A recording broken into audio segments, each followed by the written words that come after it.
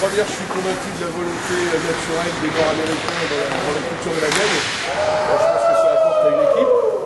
Et la deuxième, c'est que nos club formateur a été viré chez Simon, qu'ils ont procédé comme ça. Euh, J'ai toujours trouvé que c'était une bonne alchimie entre les jeunes français, quelques anciens pour faire l'assemblage, et des joueurs étrangers, notamment québécois qui parlent français pour, pour apporter du leadership à tout le monde.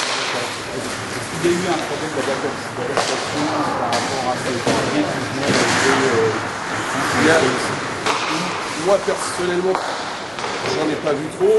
C'est vrai qu'on a le fait que euh, Francis Charette soit reparti en début de saison euh, parce qu'il ne se sentait pas ici. Euh, à l'inverse, euh, on a plus un problème d'acclimatation avec des joueurs parce que justement il y a des joueurs français qui parlent pas français donc pour le, pour le groupe c'est un petit peu plus compliqué mais dans l'ensemble pas trop.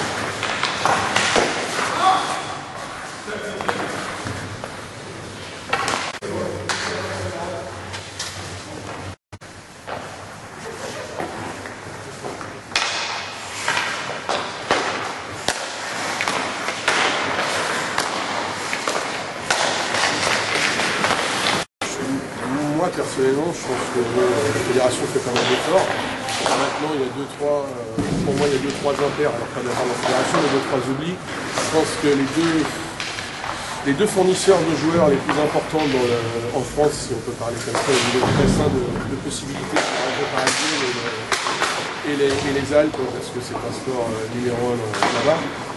et nous, par rapport au même de patinoires que nous avons à Parisienne, de 730, et je pense que euh, ces deux régions, euh, hormis quelques sports équipes dans les Alpes, notamment à Saint-Gervais et à, et à Villars, euh, on n'est pas trop aidé au niveau de la communication euh, nationale euh, pour le recrutement des jeunes.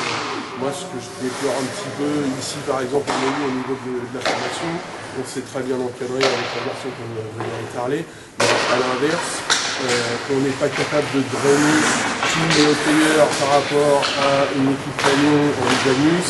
On n'est pas capable de tous les jeunes hôteliers à essayer de venir euh, ou à Neuilly ou ailleurs pour drainer un peu plus dans les, dans les, dans les- les clubs. Et moi, je pense que la fédération devrait communiquer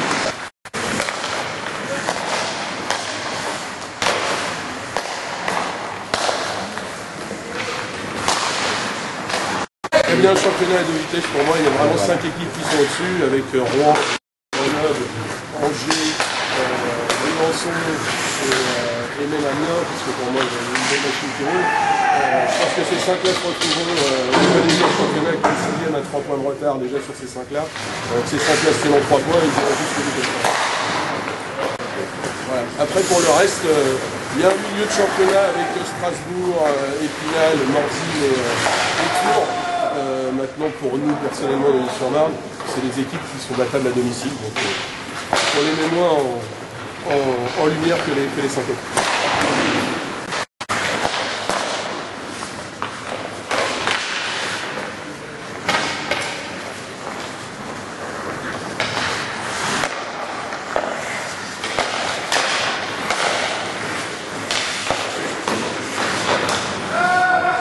trois matchs, on est à la championnat. Euh, on nos, les deux équipes euh, qui sont derrière nous. On figure à la deuxième place. Euh, moi, je dis depuis le début de la saison que si on faisait euh, entre 8 et 10, c'était une saison exceptionnelle. Si on faisait entre 10 et 12, euh, on avait fait le boulot. Et si on était entre 13 et 14, le championnat n'étant pas terminé, parce qu'il y a une formule de mais euh, c'était pas, pas fabuleux, mais quand même, tant qu'on ne descendait pas, l'objectif était à fond. Euh, bon, à l'inverse, on a quand même, depuis maintenant un mois, 7 blessés dans l'effectif, euh, et pas des moindres, notamment un joueur, un joueur canadien qui s'appelle Kenny Harrison, qui est soir ce matin, euh, Benoît Payet qui est un des leaders de notre groupe, et Benjamin. Euh, donc ça fait beaucoup de joueurs importants. Par rapport à l'effectif actuellement, notre place de 12e et nos, et nos 6 points, sachant qu'on a quand même battu à domicile Strasbourg, Épinal et, euh, et qui sont des équipes qui sont classées au-dessus de nous. Euh, je pense que notre première partie, par rapport aux objectifs à atteindre, on est, on est- on est dans le parcours. Voilà. Ok. Ok. Salut, euh, Joseph Regat et euh, Maxime Garotte. C'est bon entraînement. Ok.